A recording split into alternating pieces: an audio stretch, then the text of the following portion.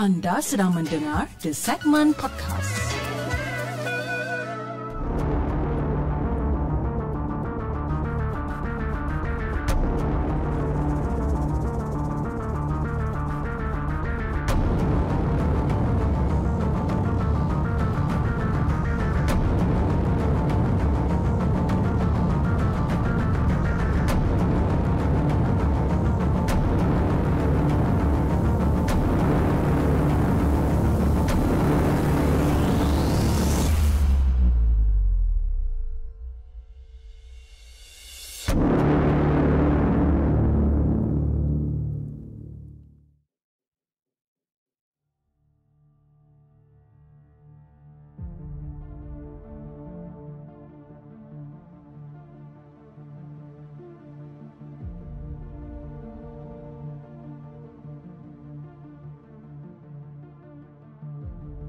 Hello guys, Assalamualaikum. Welcome back to the segment. Apa khabar guys? Saya harap anda semua dalam keadaan sehat. Dan hari ini 12 hari bulan Februari Bertemankan saya sekali lagi Dalam satu lagi rancangan Markas Puaka. Di mana kita akan berkongsikan Tentang kisah-kisah seram Yang telah dihantar ke the segment. Dan juga yang mana yang telah kita ambil Daripada blog-blog tempatan. Apa khabar guys? Okey, malam ni kita ada lebih kurang dalam 5 kisah yang kita nak ketengahkan pada malam ni dan jom tak buang masa kita dengarkan kisah kita yang pertama. Kisah yang dihantarkan oleh Haikal. Jom kita dengarkan.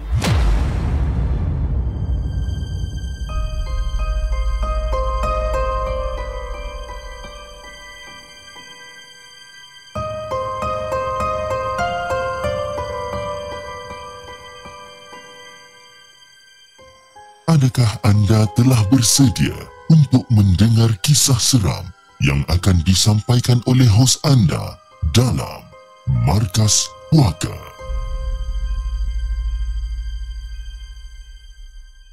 Assalamualaikum kepada Hafiz dan juga kepada semua penonton Markas Puaka. Waalaikumsalam warahmatullahi Okey Hafiz, nama saya Haikal dan saya ini bekerja sebagai seorang arkitek.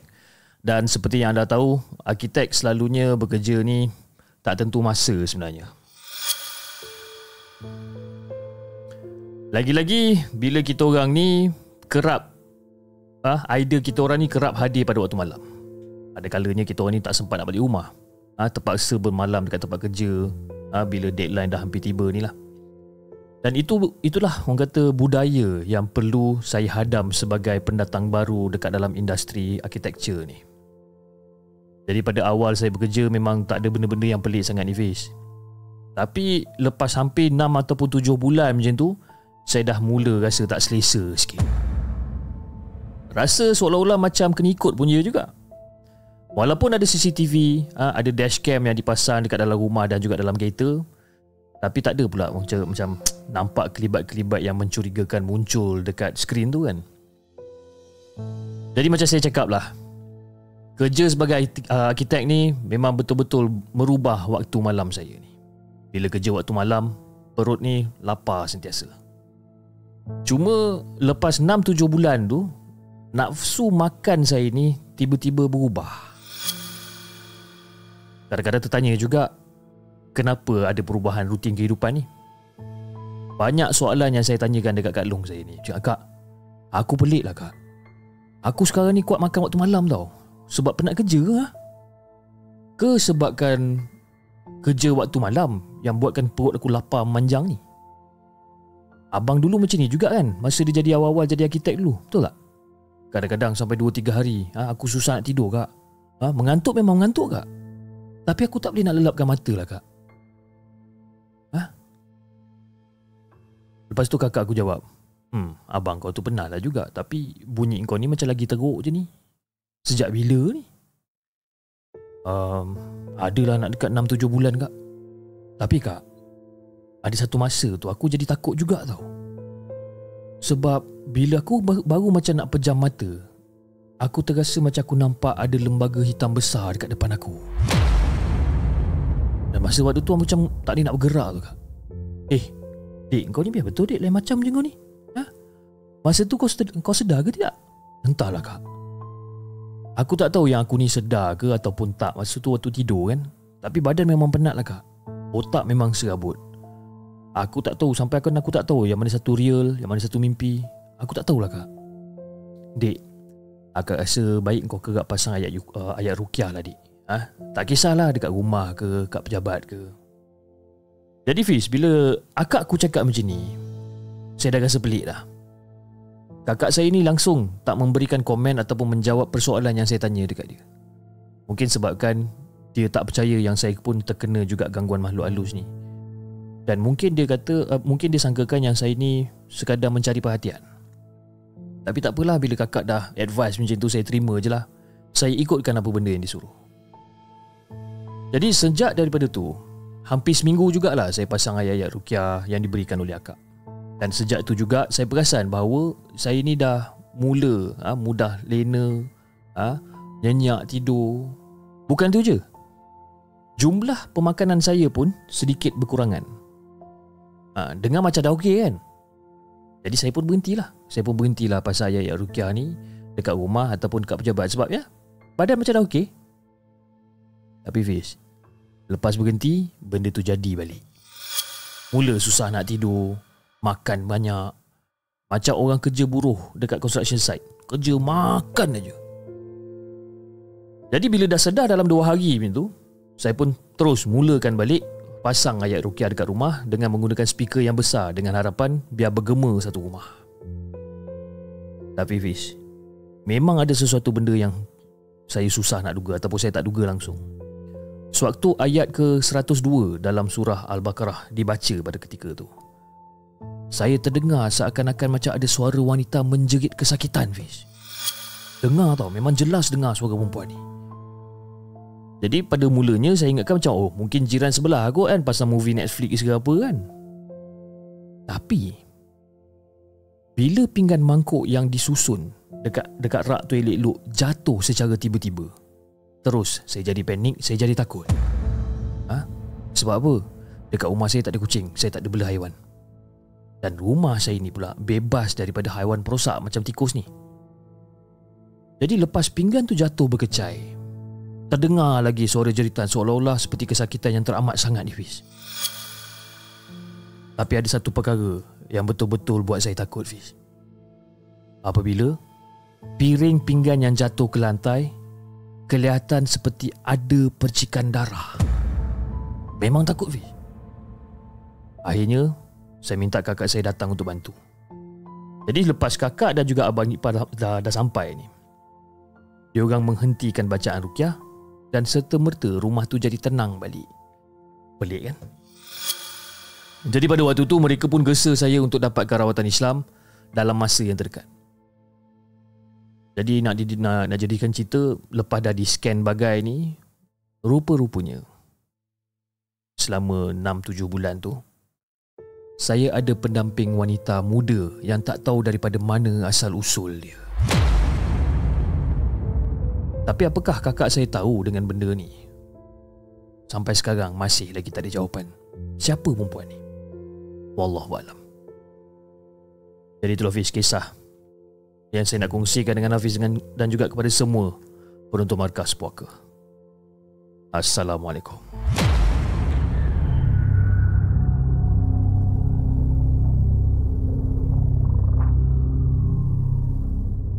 Jangan ke mana-mana. Kami akan kembali selepas ini dengan lebih banyak kisah seram. Okey guys, itu cerita pertama Kisah yang dikongsikan oleh Haikal Dengan kisah dia yang berjudul Pendamping Muda. Okey, saya ingin mengucapkan ribuan terima kasih kepada anda semua Yang dah hadir ke dalam rancangan Markas Puaka pada malam ni Dan juga kepada semua moderator-moderator yang bertugas Di kedua-dua platform yang kita ada Di saluran TikTok dan juga di saluran Merah Pada malam ini. Okey, alright jom kita bacakan kisah kita yang seterusnya. Kisah yang kedua Kisah yang dikongsikan oleh Aimi. Jom kita dengarkan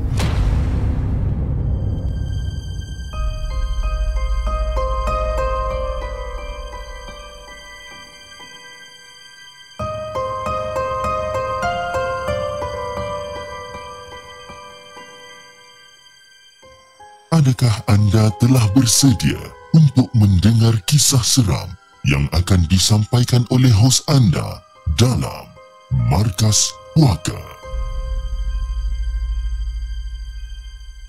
Assalamualaikum kepada semua penonton The Segment Markas Puaka. Waalaikumsalam warahmatullahi Okey Fiz, saya ada dua kisah seram pendek tentang pengawal keselamatan yang berlaku pada satu ketika dulu. Jadi kedua-dua ni adalah kisah benar. Dan kisah yang pertama ni berlaku sewaktu saya dan juga Teha ha, dekat rumah pada hujung minggu dan kita orang ni tinggal serumah dekat tingkat 8 lah. Jadi lepas pada waktu isyak tu Tiha ada juga bertanya kepada saya, ah Aimi, kalau kawan aku nak tumpang tidur kat rumah kita boleh tak? Alah, nak tumpang tidur je pun boleh je, tak ada masalah. Jadi Fiz, pada waktu ni aku macam tak tahu apa-apa sangat. Kan? Jadi sewaktu dekat dalam bilik, dalam beberapa minit macam tu saya terdengar tok tok tok tok tok. Dan kedengaran Tiha membuka pintu rumah. Dan waktu tu terdengar seperti suara macam riuh rendah tau dekat luar ni. Jadi macam eh apa kecoh-kecoh ni kan? Jadi saya pun segera pergi buka pintu yang saya buka separuh lah yang dikuat separuh masa tu. Dan saya agak terkejut bila saya tengok ingatkan kawan dia seorang je yang datang. Eh, tujuh orang yang datang dan tumpang tidur dekat rumah. Kan? Jadi kalau menangis tu dah pasti, ha? takut apatah lagi. Kan? Jadi saya dengan Tiha bertanyakan apa yang berlaku sebenarnya. Jadi beberapa hari pada selepas tu, ha, telah berlaku beberapa kali ketukan pada tingkap rumah diorang ni. Dan tingkap tu pula menghadap ke jalan besar. Ha? Dah rumah 10 tingkat, Fish. Siapa pula yang ketuk pintu sambil terapung dekat udara ni? Jadi kejadian malam tu buatkan mereka ni macam haru sikit. Kan? Mereka pulang ke rumah selepas makan malam. Dan ketika nak masuk ke rumah tu, kesemua tujuh orang tu nampak ada pengawal keselamatan yang sedang berjalan dekat tingkat sepuluh. Jadi lepas mereka masuk ke dalam rumah, ada orang kunci pintu rumah dan ketukan pintu tu bertalu-talu bunyi dia Fiz. Tok tok tok tok tok tok tok tok. Tok tok tok tok tok tok tok tok tok tok. Jadi pada mulanya kita orang rasa macam takut dan masa itulah Salah seorang daripada mereka ni telefon Tiha untuk minta kebenaran untuk tidur dekat luar rumah kita orang ni.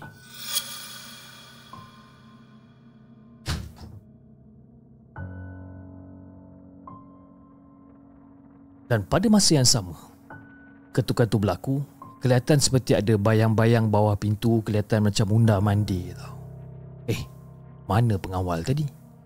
Takkan dia tak dengar ataupun takkan dia tak nampak apa benda yang terjadi ni? Jadi pada waktu tu mulalah Mulalah tiba-tiba timbul persoalan dan rasa tak sedap hati selepas melihat wajah diorang ni pucat lesi dan juga penuh dengan ketakutan ni. Jadi saya berdiri dekat depan bilik ha, sambil membaca beberapa potong ayat Quran serta doa. Dan perlahan-lahan ha, saya hembus ke ruang tamu tanpa mereka sedari. Dan pada waktu tu Hafiz, ada kelibat lelaki seperti berpakaian pengawal keselamatan lalu daripada tepi menghala ke pintu rumah. Lalu dekat tepi saya kan.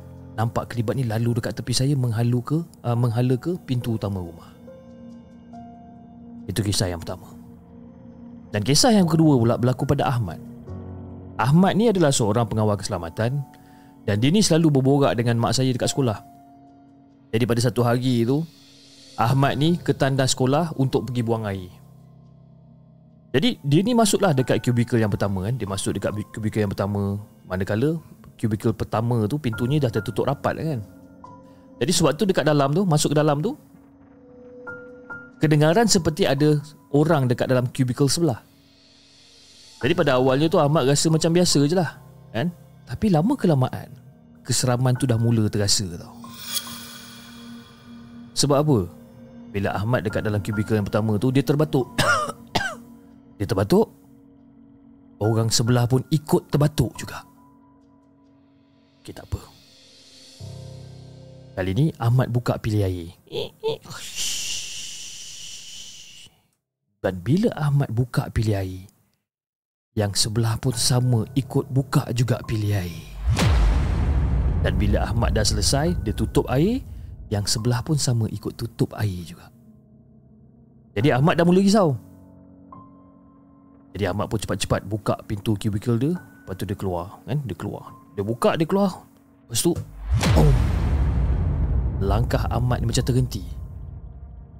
Dua kali pada pada ketika tu Masa dia buka pintu Kergang eh? Bunyi juga pintu yang sebelah sana pun Bunyi yang sama juga. Bermaksudnya Pintu kubikel sebelah pun terbuka dengan luas ni Jadi dengan keadaan yang cuak ni Ahmad pelan-pelan keluar daripada kubikel dia Dan terus keluar menuju ke pintu masuk tandas yang tertutup rapat ni. Jadi nak bagikan gambaran Fiz eh? Masa dia keluar dekat depan-depan ni Ataupun dekat depan ni ada singki-singki dan juga cermin-cermin yang separuh kotor. Dan masa tu Ahmad Mata Ahmad ni terpandang ke kubikel sebelah tau. Walaupun cermin tu kotor kan Reflection cermin tu kotor Ahmad seolah-olah nampak ada sesuatu dekat dalam kubikel sebelah ni. Berkain putih kusam dan ada sepasang kaki bergoyang-goyang pada ketika tu. Tapi benda tu bukan berdiri tau. Tapi benda tu bertinggung dekat atas alang kubikel. Ahmad apa lagi? Terus cabut lagi. Cabut lagi dan sewaktu dia keluar menuju ke pengawal uh, pos pengawal ni. Dia terdengar ada derapan kaki uh, yang macam ramai ni. Eh derapan kaki yang banyak yang berlari ataupun yang sedang mengejar dia daripada belakang. Jadi itulah Hafiz. Kisah, dua kisah yang saya nak kongsikan dengan Hafiz dan juga kepada semua penonton markas puaka. Semoga anda terhibur. Assalamualaikum. Itu guys, kisah yang kedua, kisah yang dikongsikan oleh Aimi. Dua kisah pengawal keselamatan. Eh? Kisah yang kedua tu agak agak seram jugalah. Eh? Kita tengah nak buang air kan tiba-tiba orang sebelah tu pun meniru apa benda yang kita buat dan bila dia nampak dekat reflection cermin eh nampak ada kaki tengah goyang-goyang kan? Tapi dia bukan duduk dekat mangkuk tandas dia duduk dekat atas kubikel tu ataupun dekat alang kubikel tu kan? Ha, itu seram. Okey, saya minta maaf tadi ya, kita ada sedikit orang kata apa buat sedikit iklan tadi. Iklan di mana? Anak saya tu baru mandi kan? Jadi dia nak sikat rambut handsome lah kan? tapi biasanya bapak dia lah yang buat kan kalau nak kasi handsome ni dia hanya percaya saya punya sikatan cewa kan? Jadi saya pun lah sambil-sambil bercerita tu sambil-sambil saya sikat lah jadi mana yang tiba-tiba saya punya cerita tu macam apa fokus dia terlari sikit tu saya minta maaf lah eh Okay Jom kita oh kisah yang ketiga ni kisah yang panjang tapi daripada penulis favourite saya. Jom kita dengarkan kisah ketiga kisah daripada Dr. Chaku. Jom kita dengarkan.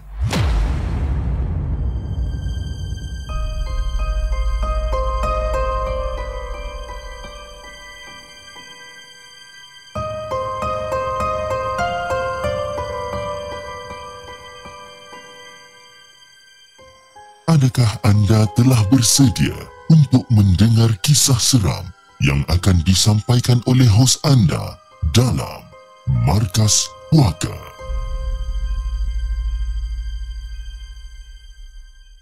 Assalamualaikum kepada Fiz dan juga kepada semua para peminat kisah seram. Waalaikumsalam warahmatullahi Okey Fiz, ketika tu peperiksaan baru habis tau. Jadi selepas beberapa hari tak cukup tidur sebab sibuk buat ulang kaji ni, Aku fikir aku dapatlah tidur dengan aman malam tu. Kena pula malam tu cuaca dingin dan juga angin yang bertiup sepoi-sepoi bahasa ni. Awal jugalah eh, pada waktu tu aku ter, ter, tertidur eh, terbuai ke alam mimpi. Tapi eh, ketenangan aku pada ketika tu tak berpanjangan tau. Kan? Tengah-tengah lena tidur ni tiba-tiba macam tok tok tok tok tok tok. Aku terdengar apabila uh, bunyi ketukan yang kuat dan mengejut tu kan. Aku cakap eh apa benda ni? Kan? Lepas tu aku macam aduh siapa pula lah ketuk pintu-pintu ni? Ish, kacau betul lah. Jadi dengan mata yang masih separuh terpejam ni Fiz Aku pun bangun dan aku pun mengelangkah longlai ke arah pintu. Rasa berat kaki nak diangkat daripada lantai ni Fiz ha? Tapi aku gagalkan juga. Aku seret lah kaki aku ni. Jadi bila sampai je dekat muka pintu Aku pulas tombol Dan aku buka pintu Lepas tu aku macam Siapa ni kan? Aku menjengah keluar. Tak ada siapa-siapa pun dekat luar. Hanya kegelapan koridor asrama yang menyambut aku pada ketika tu. Aku toleh ke kiri Aku toleh kanan. Aku meninjau daripada hujung koridor ke hujung koridor yang lagi satu. Langsung tak ada orang. Aku masa tu usap muka aku. Aku usap muka aku ni ha? Mungkin disebabkan kesan keletihan agaknya. Jadi aku pun tutup balik pintu. Aku kunci dan aku berjalan kembali ke katil berharap untuk teruskan tidur aku yang terganggu ni lah jadi bila aku dah sampai je kat katil aku rebahkan badan aku ke tilam dan cuba untuk selesakan diri pada ketika tu Belum sempat aku nak pejam mata, ketukan tu datang balik. Tok tok tok tok tok. Aku buka mata. Terus hilang mengantuk aku ni. Kali ni aku pasti benda ni bukan imagination aku ni. Kan? Dan aku pasti yang bunyi tu datang daripada mana. Ah, padanlah tak ada orang. Bunyi tu bukannya bunyi ketukan dekat pintu bilik aku. Meremang bulu rumah aku masa tu. Bila aku sedar bahawa ketukan tu datangnya daripada bawah katil aku. Oh, masa tu aku cakap Fish. Jantung aku ni laju. Kan? Aku rasa macam ada benda yang tak kena ni. Tok, tok, tok, tok, tok. Dan ketukan tu kembali bergema. Kali ni lebih kuat. Seolah-olah memaksa aku untuk mencari punca bunyi ni. Jadi pada ketika tu aku tarik nafas dalam-dalam, aku cuba untuk kumpulkan keberanian aku ni. Jadi dengan perlahan, aku bangkit dan aku pun jenguk ke bawah katil. Aku tahu tak mungkin ada sesiapa dekat bawah katil sebabkan ruang dia terlalu kecil. Paling-paling tidak ada haiwan kecil lah, paling-paling tidak. Jadi bila aku tinjau dekat bawah katil aku ni, aku terlihat ada beberapa kotak dan juga buku-buku yang berselerak dekat bawah katil. Tak ada apa-apa haiwan ataupun benda yang boleh menyebabkan ketukan tadi. Jadi pada ketika itu, rasa ingin tahu tu dah mula kacau jiwa aku ni. Kan? Paksa aku untuk cari apa punca sebenar ni. Ha? Apa yang menyebabkan bunyi ketukan daripada bawah katil ni? Aku turun daripada katil, aku terus keluar-keluarkan barang-barang dekat bawah katil ni satu persatu aku keluarkan cari ha, nak mencari sumber bunyi misteri tu tadi. Dan akhirnya bila semua barang aku dah hampir keluar daripada bawah katil, aku ternampak ada sesuatu yang sangat aku tak jangka, Fiz. Sesuatu yang membuatkan aku terfikir dan aku macam jadi sangat-sangat bingung tu, Fiz. Jadi Fiz, antara barang-barang tu tersembunyi sebuah kotak kecil. Okey, kotak kecil saiz dia macam kotak kasut lah lebih kurang. Eh, Kecil sikit daripada kotak kasut. Jadi sewaktu aku keluarkan kotak tu daripada bawah katil Aku terdengar ada bunyi macam kelentang-kelentung dekat dalam dalam kotak ni kan. Jadi macam Aku buka kotak ni. Bila aku buka kotak ni ada satu bau eh, Bau sengit yang menepa keluar Sebaik saja aku buka kotak ni. Bau apa tau? Bau formalin. Dan bila aku tengok isi kotak ni Macam-macam pertanyaan aku tanya tau Eh Ni apa benda ni? Ini tulang rahang manusia ke punca benda ni? Jadi Fiz, aku nak flashbackkan sedikit eh. Aku nak flashbackkan sedikit ke belakang. Aku ni pelajar perubatan baru semester yang kedua. Dan antara subjek awal yang kita orang belajar dekat universiti pada ketika itu adalah biokimia, biofizik, mikrobiologi, fiziologi dan juga anatomi. Jadi subjek ni semua boleh belajar kelas makmal kecuali anatomi. Okey. Tubuh manusia adalah sesuatu benda yang sangat kompleks lah. Okey. Kita kena tahu semua otot, tulang, saraf, pembuluh darah dan juga organ di setiap anggota tubuh uh, tubuh badan manusia. Dan kena tahu semua benda ni. Kena tahu nama, rupa bentuk dan juga function dia. Jadi bayangkan Fiz eh, satu pembuluh darah tu kita kena tahu mana dia berpunca, lubang dan juga terowong mana yang dia lalu, apa cabang-cabang dia, dia bekalkan darah ke anggota mana dan sebagainya. Semua benda ni ada nama tau Fiz. Dan kita orang ni kena hafal nama-nama tu. Dan lazimnya penamaan ni semua dalam bahasa Latin. Ha, itu baru sistem jaringan pembuluh darah. Belum kita cerita sistem lain lagi. Jadi macam ni kita orang belajar? Selain melalui gambar dalam buku rujukan, kita orang juga kena belajar daripada tubuh badan manusia yang sebenar, Hafiz. Sama ada daripada mayat utuh ataupun spesimen yang diambil daripada mayat berkenaan. Contohnya, eh, kaki, tangan, tulang dan sebagainya. Nak berurusan dengan mayat ni, Fiz, hati kena bersih, Fiz. Hati kena bersih, hati kena kental, kena kering kita bukan saja melihat mayat daripada jauh bukan lihat daripada luaran saja habis buka segala belulang ha, sampai ke tulang dan juga isinya untuk dipelajari. Beliklah ha, setiap inci mayat tu satu persatu. Biar melekat dekat dalam kepala otak ni. Jadi biasanya lepas habis kelas anatomi ni selain ilmu yang melekat bau formalin ataupun bau pengawet mayat ni pun akan ikut melekat dekat baju dan juga anggota tubuh kita orang ni. Bau dia memang kuat Fiz. Kan? Orang yang lalu dekat sebelah pun boleh tahu yang kita orang ni baru keluar daripada bangunan anatomi ataupun rumah mayat. Sebab tubuh kita orang ni memang akan berbau formalin.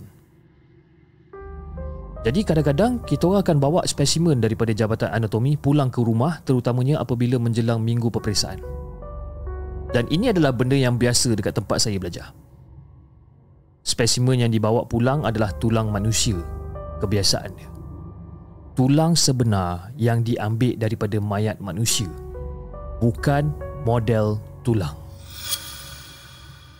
Jadi bila aku dah tarik kotak tu Aku nampak ada macam tulang rahang manusia Dekat dalam kotak ni Aku macam Eh tak mungkin lah Bunyi ketukan ni daripada benda ni kan Eh tak mungkin tak mungkin tak mungkin Aku menafikan ha, Berkemungkinan bahawa tulang tu Yang menyebabkan bunyi ketukan yang aku dengar tadi Jadi sebagai pelajar perubatan Semua yang berlaku Mesti ada rasional dia yang tersendiri. Sekeping tulang Mengetuk katil. Rasional ke benda ni? Jadi aku ketepikan kemungkinan tu. Aku tak tahu siapa yang bawa balik tulang rahang tu. Dan siapa yang letakkan tulang tu dekat dalam kotak dan disorokkan dekat dekat dekat bawah katil. Jadi pada ketika tu aku pandang dekat katil Jo. Aku pandang je dekat katil Jo. Jo ni adalah kawan sebilik aku lah. Aku pandang dekat katil dia. Dia tak ada kat situ. Berkemungkinan malam tu dia bermalam dekat bilik yang lain. Jadi bila tu aku fikir, tak apalah. Esok je lah aku tanya dia.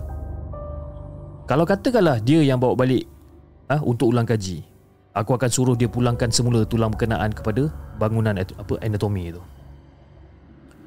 Jadi Fish, pada ketika tu sementara aku tengah menunggu ni, aku tutup semula kotak yang berisi tulang berkenaan dan letak aja dekat atas meja belajar supaya besok tak lupa nak bertanyakan kepada Joe tentang tulang ni. Jadi selain tu, aku kembali ke katil dan aku dah mula ah dengar deruman hujan menerpa dekat tingkap bilik. Jadi aku rebahkan badan dekat atas tilam Aku sarung selimut Jadi Fiz Masa tu ha, Kita dah dekat dalam selimut dan sebagainya. Aku terasa kedinginan tau Yang menggigit jari-jari kaki aku ni. Jadi aku mengerekod Untuk memastikan kaki aku berada dekat bawah selimut. Di tengah-tengah baring tu Yalah Sesekali pancaran kilat mener, apa, menerangi langit, langit malam tu kan Sesekali tu. Dan cahaya pancaran kilat ni akan menerobos masuk ke dalam bilik dan menembusi selimut aku. Dan biasalah bila dah ada pancaran kilat ni dia akan disusuli dengan dentuman guruh yang menggegarkan. Ah cukup aduh. Dan, jadi masa aku tengah baring, aku tengah nak tidur, ah dan sebaik saja ah aku dah mula berlabuh dekat alam mimpi ni. Aku terdengar bunyi geseran yang agak pelik tau. Aku dengar Pelan-pelan aku buka mata aku Aku selak selimut dan aku menoleh ke arah meja belajar aku Jadi bila aku tengok dekat meja aku tu aku macam Astaghfirullahaladzim Benda yang aku nampak tu membuatkan jantung aku ni berdegup laju tu Fiz Sebab apa? Apa benda yang aku nampak? Tulang rahang yang daripada dalam kotak tu sekarang ni Terapung dekat udara Bergerak-gerak seolah-olah seperti se- seorang yang sedang bercakap. Aku cakap, astagfirullahaladzim. Aku nampak benda ni. Dan aku terdengar tau. Aku terdengar bisikan-bisikan halus seolah-olah ada suara-suara yang tak dikenali sedang berbincang sesuatu. Aku rasa sejuk malam tu Fiz. Bukan disebabkan udara malam tapi kerana menyaksikan benda yang sangat-sangat seram ni. Aku kaku je kata katil Aku kaku atas katil aku tak boleh nak buat apa-apa Seolah-olah macam terpasung dekat katil punya juga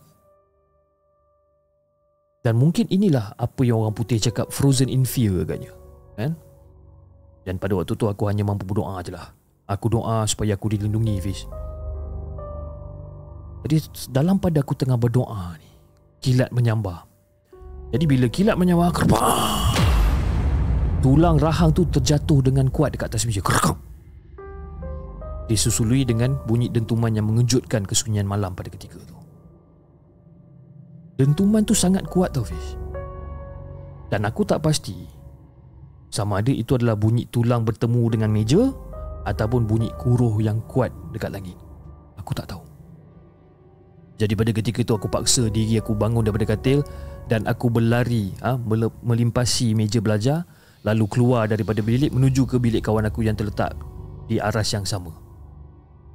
Bagaikan nak runtuh Fiz aku ketuk bilik diorang ni. Dan bagaikan nak runtuh dan akhirnya diorang buka pintu.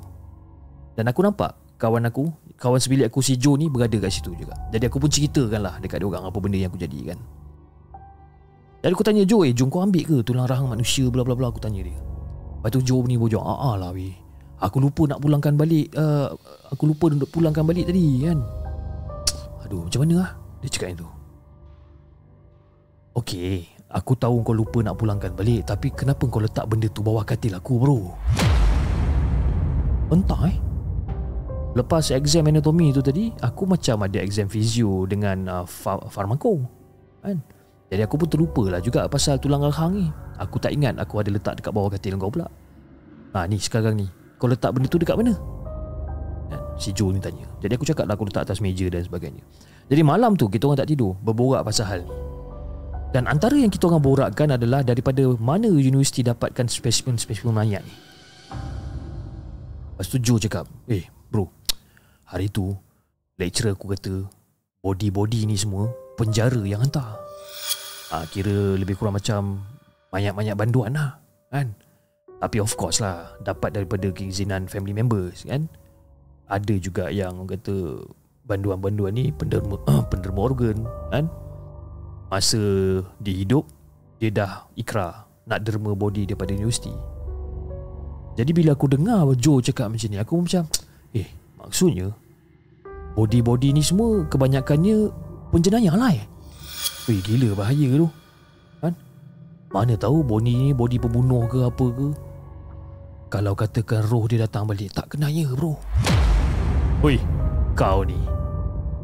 Roh orang mati ha, Mana boleh datang balik kau ni pun Jadi bila Joe cakap macam tu Aku rasa lega sekejap habis kan? Jadi dipendekkan cerita Keesokan harinya tu Kita orang pulangkan balik Semula tulang rahang tu ke bangunan anatomi Dan berharap Semua gangguan ni takkan berulang lagi jadi dalam perjalanan balik daripada bangunan anatomi itu, aku teringat kata-kata pensyarah anatomi tentang menghormati mayat dan juga spesimen yang kita orang belajar ni. Jadi Fish, kadang-kadang doktor fikir balik eh. Mungkin ini adalah balasan kerana terlupa untuk memulangkan rahang tu ke tempat yang sepatutnya. Jadi peristiwa malam tu adalah peringatan yang tak mungkin kita orang ataupun aku khususnya akan lupakan sampai bila-bila Fiz.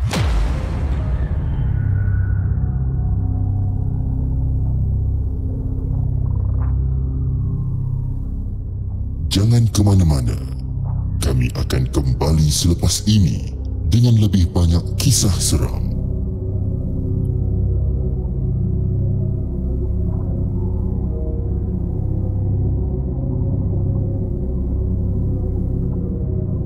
Itu guys kisah yang ketiga Kisah yang dikongsikan oleh Dr. Chaku Dengan kisah dia yang berjudul Bisikan si mati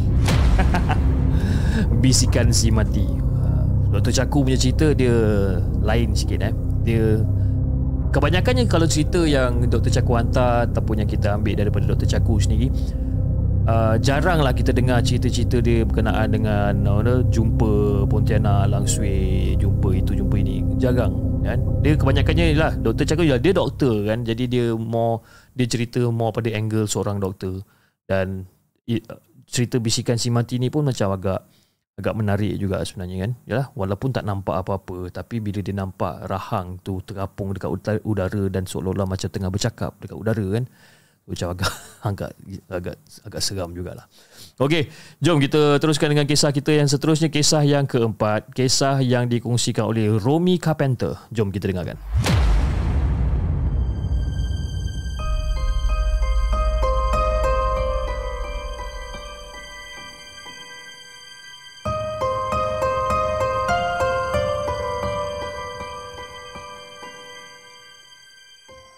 Adakah anda telah bersedia untuk mendengar kisah seram yang akan disampaikan oleh hos anda dalam Markas Puaka?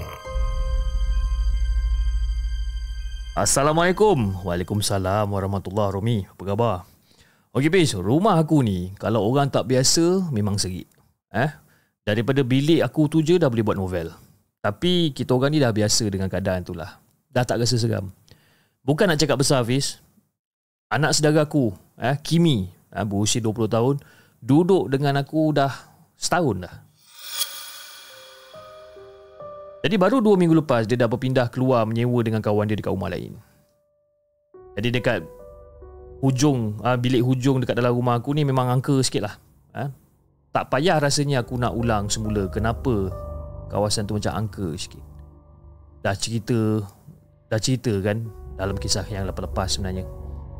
Bilik tu asalnya adalah bilik anak bujang aku. Dan dia je yang keras kepala boleh berdepan dengan benda tu berulang-ulang kali. Jadi sebelum Akif iaitu anak aku ha, sebelum Akif ke Johor bilik tu mereka berdua yang tidur. Dan Kimi hanya dengar cerita daripada abang dan juga kakak dia yang pernah tumpang duduk sekali dengan aku sebelum-sebelum ni. Kisah pasal bilik tu Diorang cerita kan ha? Sebab dua-dua dah pernah kena Jadi Fiz Bilik tu Bilik tu kadang-kadang akan ada bunyi Benda-benda pelik tau lagi-lagi kalau katakan Akif tak ada kat rumah. Walaupun pintu bilik tu bertutup, tapi boleh dengar lah dengan jelas kan? bunyi kertas dicakar-cakar, bunyi orang melompat dekat atas katil, ha? ataupun bunyi seperti ada sesuatu yang usik barang-barang dekat dalam bilik tu. Kadang-kadang bunyi gitar pun ada juga. Kan? Bunyi gitar pernah pernah pernah terdengar ha? daripada dalam bilik tu. Jadi sejak Akif ke Johor, Kimi terpaksa tidur seorang-seorang dekat dalam bilik tu. Maka bermulalah episod Kimi kena sakat. Jadi pada waktu tu Kimi balik kerja lebih kurang dalam pukul 10.30 malam dan bila time waktu tidur tu dia akan baring dekat atas katil ha? dan juga dia akan letakkan kepala dia keluar daripada pintu bilik. Ha? Dia, sorry, dia, dia baring dekat atas lantai. Dia akan baring dekat atas lantai dan kepala dia keluar daripada pintu bilik. Dan dia takkan masuk full badan dia dekat dalam bilik sehinggalah kita orang semua tidur kan? Jadi dia letak kepala dia kat luar pintu sebabkan nak lihat jika ruang tamu clear ataupun tidak. Ha, dia selalu macam tu. Dia akan baring dekat lantai dia keluarkan kepala dia. Jadi jika kita orang semua dah masuk dekat dalam bilik dia akan tidur dekat ruang tamu. Tapi bukan setiap hari lah sebab kita orang anak beranak ni pun kadang-kadang berkelah dekat depan TV sampai tertidur dan kalau katakan kita orang berkelah dekat depan TV dekat ruang tamu ni Kimi akan tidur dekat dalam bilik tu dan pasang MP3 mengaji kuat-kuat. Jadi aku dengan wife tahu. Ha, kalau katakan Kimi dah pasang benda-benda macam ni, kita orang dah tahu dah yang Kimi dah kena sakat. Daripada waktu tu, kita orang pun macam okey lah. Kita orang biarkan je lah kan bila dia dah pasang MP3 mengaji tu, kita orang biarkan je. Jadi pada ketika tu, Besar dah kan Buat tak tahu dah lah Kalau Su nak bagi tahu semuanya Rasanya nak letak kaki sebelah dalam bilik tu pun kau takut ha? Tak ada apalah Dia saja je ngusik-ngusik tu ha? Kalau nampak rupa dia kau maki kan aja. ha, Macam itulah pesan aku dekat Pesan wife aku dekat Kimi kan? Dia kata kalau nampak benda tu ha, Maki kan aja. Jadi Kimi pada pada ketika tu hanya mengangguk je lah kan? Mengangguk terpaksa ha? Sebabkan apa makcik kau ni garang kan? Sehinggalah pada satu malam ni. Seperti biasa Kimi balik daripada kerja Dan malam tu kita orang berkelah dekat depan TV Sehinggalah kita orang pun tidur dekat depan TV ramai-ramai. Anak bongsu aku dan kakak dia dekat atas uh, dekat atas sofa seorang satu. Tidur dengan lampu tutup Hanya ada tempias cahaya daripada lampu bilik Kimi tu. Okay Jadi lebih kurang dalam pukul 1 pagi Wife aku terjaga dan wife perasan Yang Kimi sedang bersandar dekat kabinet TV Dia nampak eh Kimi Kenapa tak masuk tidur dalam bilik? Wife aku tegur. Uh, Kimi tak mengantuk lagi Dia cakap. Dan Kimi duduk bersandar Sambil pegang telefon tau. Dia diam aja kat situ. Dia tak bagi tahu yang dia kena sakat pun Dekat dalam bilik tu kan. Tapi wife aku dah dapat agak lah Yang dia kena apa Dia dah kena sakat Jadi lebih kurang dalam pukul 2, 2 pagi tu 2 lebih pagi tu Wife aku terjaga lagi Dan kali ni tengok Kimi dah tertidur dekat atas lantai jadi wife pun kejut dengan Kimi Kimi Kimi Ni apa tidur kat atas lantai ni tak sejuk ke? Ha? Kenapa tak ambil bantal dengan selimut dekat dalam bilik tu? Lepas tu Kimi pun jawab ah, Tertidur lah tadi Main-main telefon tadi tertidur Sorry Dia cakap itu Kimi kau kena usik eh? Kau kena usik ke? Pergi je lah masuk dalam bilik tu. Ha? Tidur pasang lampu. Pasanglah MP3 mengaji ke apa ke. Ha, Kalau tak berani ha, Nanti su kejutkan Ryan Suruh tidur dekat bawah. Ha, Kau tidur atas sofa. Wife aku bagi tahu Kimi macam tu. Jadi pada ketika tu Kimi cakap okey je. Okey Dia cakap macam tu kan? Dan dia kata dia akan tidur dekat dalam bilik lah. Jadi masa tu Kimi ke bilik Dan dia pun pasanglah MP3 mengaji kuat-kuat Dengan lampu yang terpasang Jadi esoknya tu Wife bagi tahu aku pasal hal tu Dan sejak pada kejadian tu Kimi start baring dengan kepala keluar daripada bilik Aku dah aku dengan wife dah tahu sangat lah kan Kalau Kimi dah kena sakat ni Cuma kita orang ni bagi tips-tips je lah Macam dia nak berdepan dengan benda tu Okay Malam yang dia tidur dekat atas lantai dekat ruang tamu tu dia kena usik. Ah, ha, dia kena usik. Pada pada ketika tu dia bergayut dengan awek dia dekat, apa menggunakan earphone kan. Jadi sama-sama tu dia tengah bersembang-bersembang dengan girlfriend dia ni, dia terdengar macam ada orang gelak-gelak. Jadi dia ingatkan awek dia yang gelak tapi bukan. So dia buka earphone. Masa dia buka earphone memang sah benda tu daripada tingkat bilik.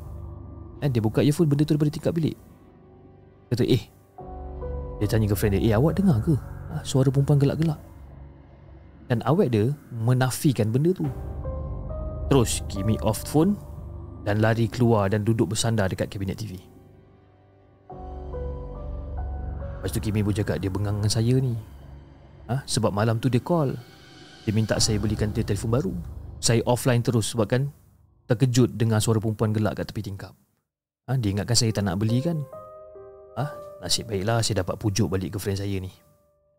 Jadi Kimi mengadu benda ni dekat wife aku lah. Jadi pada tu, wife aku pun cakap, memang kadang-kadang hancurnya satu-satu hubungan tu kerana hadirnya orang ketiga. Kan? Wife aku kata macam tu. Tu macam lah.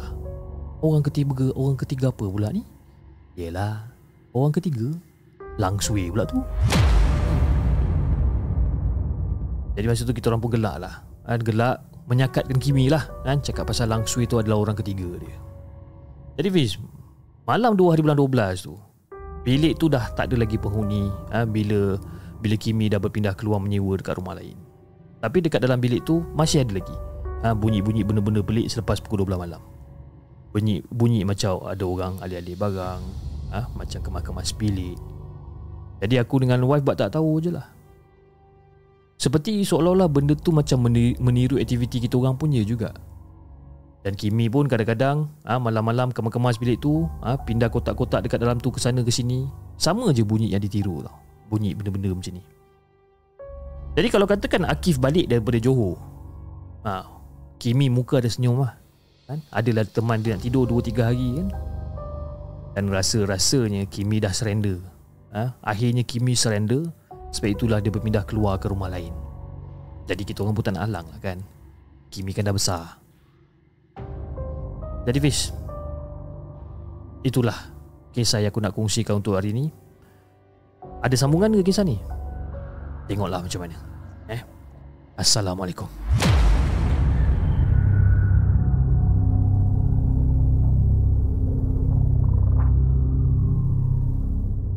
Jangan ke mana-mana. Kami akan kembali selepas ini dengan lebih banyak kisah seram.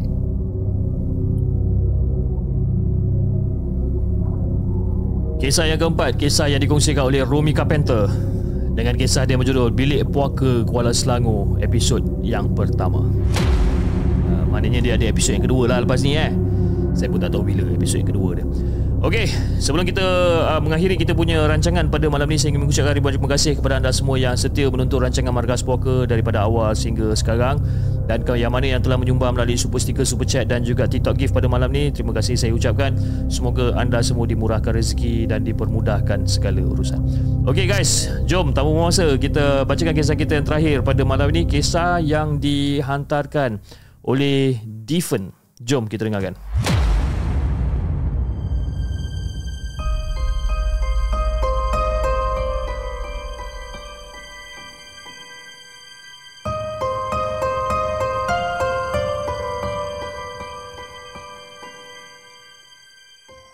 Adakah anda telah bersedia untuk mendengar kisah seram yang akan disampaikan oleh hos anda dalam Markas Puaka?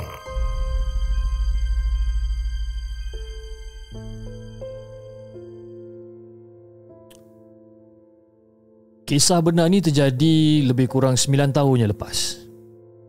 Aku tinggal menyewa dekat Kuala Lumpur. Rumah ibu bapa aku pula terletaknya dekat Kedah. Jadi aku ni bekerja sebagai pembantu tukang masak di salah sebuah hotel yang terkemuka dekat Kuala Lumpur ni. Jadi hari cuti memang takkan sama macam orang lain. Orang cuti aku kerja. Dan semasa hujung minggu, orang lain seronok melepak dekat rumah, aku kena kerja. Jadi kerja hotel memang macam ni lah. Hujung minggu kan banyak function. Jadi alkisahnya aku terasa nak balik kampung dekat Kedah. Dah lama aku tak jumpa orang tua aku. Jadi pada ketika tu aku habis kerja shift lebih kurang dalam pukul 4 petang dan sekitar lebih kurang dalam jam 5 macam tu aku dah sampai dekat rumah sewa. Dan aku rancang nak bertolak malam tu juga. Jadi bila aku dah sampai aku rehat, aku akan tidur dulu. Kalau ikutkan pada rancangan awal, aku nak bergerak lebih kurang dalam pukul 10 malam ke atas lah.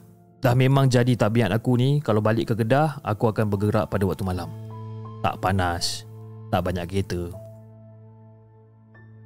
Jadi aku tak ingat tau, aku gerak balik pukul berapa, lebih, rasanya lebih kurang dalam pukul 11 lebih lah. Kan? Aku bergerak sebabkan aku terlajak tidur.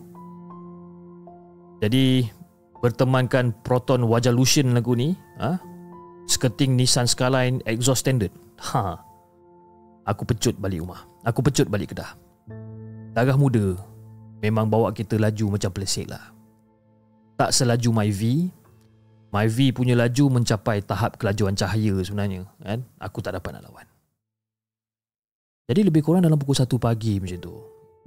Aku melalui kawasan lebuh raya dekat sekitar Ipoh. Jadi selepas Ipoh adalah Jelapang. Dan di lebuh raya sekitar Jelapang ni, aku akan melalui sebuah terowong. Korang mesti tahu terowong apa ni. Nama terowong tu adalah Terowong Menorah. Aku memandu kereta dengan kelajuan lebih kurang dalam 110-120 km je. Dah kurang sikit laju sebabkan jalan dekat sini banyak selekoh dia. Jadi pada ketika tu aku nyalakan rokok dan aku turunkan sedikit cermin tingkap. Radio aku tutup sebab bila lalu kawasan ni memang siaran tak jelas langsung kan aku tutup radio aku nyala rokok aku layankan perasaan aku ni sambil memasuki terowong menora tu. Suasana yang sangat cerah ha, dekat dalam terowong tu sebabkan ni lah banyak lampu kan? Kereta aku ataupun kabin kereta aku ni semua jadi warna kuning je kan? Jadi aku tengah layan isap rokok sambil-sambil bawa kereta ni Aku tengok side mirror aku Aku perasan ada satu kereta laju Datang ni daripada arah belakangnya. Laju kereta ni. Dan dua tiga kali kereta ni bagi high beam dekat aku. Dan tak lama kemudian Kereta tu laju Potong aku. Oh, Apa benda ni kan Dan bila aku tengok Eh Ini Volkswagen Beetle model lama tau. Aku panggil kereta ni kereta kodok. Warna krim ataupun warna kuning teh ais macam tu lah Kan? Jadi masa dia pecut potong aku macam Puh, boleh tahan laju kereta ni. Model lama tapi bawa laju. Wih, ini mesti owner kereta jaga kereta ni elok-elok ni Jadi aku pun mengetuk lah abu rokok keluar tingkap Dan bila aku alih pandangan ke depan Kereta Volkswagen tu dah tak ada tau Volkswagen Beetle tu dah tak ada Hai? Mana pula kereta ni laju betul? Ha? Takkanlah laju dia ni boleh mengalahkan Myvi pula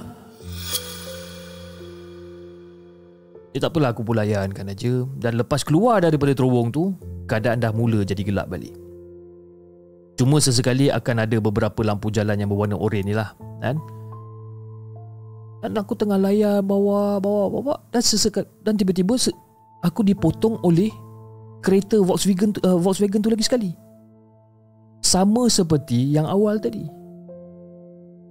Kali ni aku perasan Semasa dia potong kereta aku ni Langsung tak ada bunyi enjin Ataupun bunyi tayar. Tak ada tau. Dan aku terperasan juga Yang kereta ni tak adanya nombor plate. Ha? Mungkin tersangat laju lah agaknya Sampaikan nombor plate tercabut kan? Dan masa tu Kalau tak silap aku lah eh, Aku bawa lebih kurang dalam 140-150 tau. Dan dia boleh potong aku macam tu je. Sekejap je dia potong Dan dia terus menghilang Di sebalik selekoh yang berbukit ni Jadi Fiz Kalau katakanlah nak ikut logik eh tak mungkin enjin kereta tu boleh dibawa laju sampai macam tu sekali. Lagi-lagi bertambah tak logik bila dia memandu tersangat laju melalui selekor tajam yang berbukit sana sini. Silap akhir bulan, ini mau terjun gaung kereta ni kan. Masa dia ambil corner tadi pun aku tengok, relax je dia ambil corner. Ha? Aku rasa kalau katakanlah pemandu F1 tengok dia ambil corner dekat selekor tu tadi, aku rasa pemandu F1 ni pun pencin bis ha? tukar carrier agaknya. Jadi belum habis aku berfikir pasal Volkswagen Beetle ni tadi. Aku dipotong lagi sekali dengan kereta yang sama. Diberi lampu high beam daripada belakang macam tadi dengan kelajuan yang sama. Dan serta merta otak aku berfikir tau. Wish. Ini Volkswagen kuning ni, urban legend ni. Hah? urban legend cerita ni. Daripada kecil aku dengar cerita pasal Volkswagen kuning ni. Tapi yang potong aku tadi tu bukan warna kuning. Ha mungkin dia dah hantar kedai cat agaknya tukar warna baru kan? Jadi aku yang dalam keadaan Menggelabar cuak ketakutan ni Aku perlahankan pemanduan aku. Aku bawa masa tu lebih kurang dalam 60-70 km sejam je aku pandu Lampu interior dalam kereta aku pun aku buka Aku buka dan masa ni aku dah start menyumpah dekat diri sendiri disebabkan aku tak simpan CD bacaan ayat, Quran dekat dalam kereta. Aku bawa aje, slow aku bawa masa ni. 50 60 aku bawa. Dan tak lama kemudian aku terasa ada kereta lain dipandu beriringan di sebelah kereta aku. Dan bawa tiba-tiba ada satu kereta datang sebelah. Aku jeling ke kanan. Bila aku jeling ke kanan, astagfirullahalazim, Volkswagen kuning dan lampu dalam kereta tu terbuka. Memang jelas nampak ruangan interior kereta tu. Eh? Dalam suasana yang gelap gelita macam tu, hanya lampu interior kereta dia je yang menyala menjadikan seolah-olah ruangan dalam kereta tu terapung lah. Nampak macam tu kan. Jadi bila aku nampak aku macam, okey. Ini dah memang betul ni dah macam cerita urban legend ni. Tak ada pemandu. Jadi pada ketika tu aku tekan brake, aku perlahankan lagi kelajuan disebabkan terkejut dan aku buat-buat cool masa tu. Aku buat-buat cool dan aku pun terus fokus ke jalan walaupun hati aku ni dah menggelabah tahap gaban fish. Aku menjeling dengan ekor mata aku. Aku perasan yang kereta tu dah tak ada lagi kat sebelah. Aku kembali ha, melajukan kelajuan dan nasib baik ada lori kecil kat depan. Jadi aku pun teruslah follow lori tu sampai ke arena Sungai Perak. Aku berhenti dan aku lepak dekat situ agak lama disebabkan orang kata datangnya orang kata menggigil dekat dekat dekat badan aku ni dalam tahap yang agak agak tinggi dan menggigil aku masa tu. Aku sempat jugalah tidur dekat dalam kereta untuk tunggu sampai ke subuh. Tak sanggup aku nak pandu kereta semasa sunyi kan. Sampaikan kena kacau dengan Volkswagen Beetle yang urban legend tu. Jadi selepas daripada peristiwa ngeri tu, Aku tetap memandu kereta pada waktu malam untuk pulang ke Kedah tau. Tapi aku akan pastikan aku bertolak lebih awal lagi. Lebih kurang pukul 8 malam aku dah gerak. Ha? Untuk apa? Untuk elakkan jalan raya terlalu sunyi. Jadi Fiz, dekat sini aku nak mengesahkan. Aku nak mengesahkan bahawa urban legend tentang Volkswagen kuning tu adalah betul Fiz. Tapi bukan warna kuning. Yang aku kena sakat tu adalah warna kuning teh ais. Ah, ala-ala macam kereta warna vintage lah. Kan? Dan kalau katakan anda pernah terserempak dengan Volkswagen Beetle dekat sekitar lebuh raya Plus Jelapang ataupun lebuh raya Karak. Hati-hati. Ha? Hati-hati. Raya dah nak dekat. Hati-hati bila korang nak balik raya ataupun korang nak pergi bercuti nanti.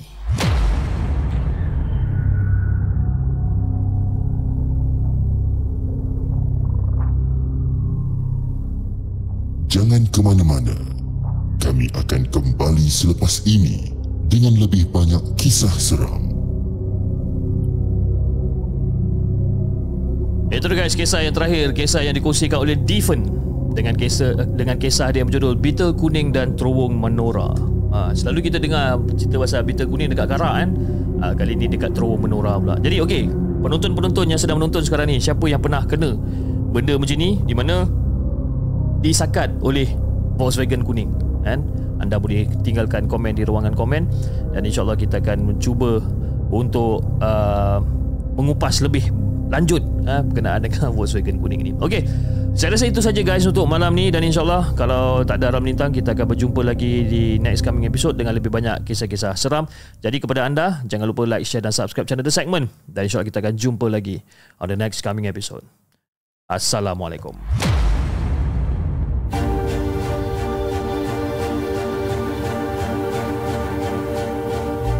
Terima kasih kepada anda kerana sudi bersama kami dalam segmen Markas Puaka, sebuah podcast kisah-kisah seram yang dikongsi dalam channel The Segment. Sehingga kita berjumpa lagi.